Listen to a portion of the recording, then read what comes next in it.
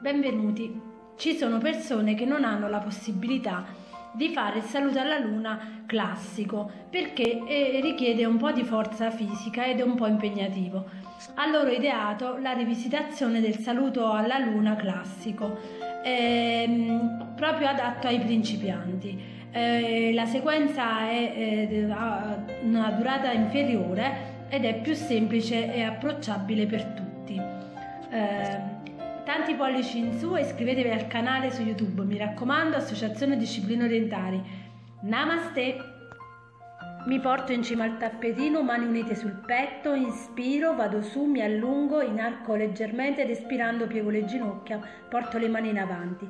Piede sinistro dietro, ginocchio giù, inspiro, vado su, espiro, scendo giù.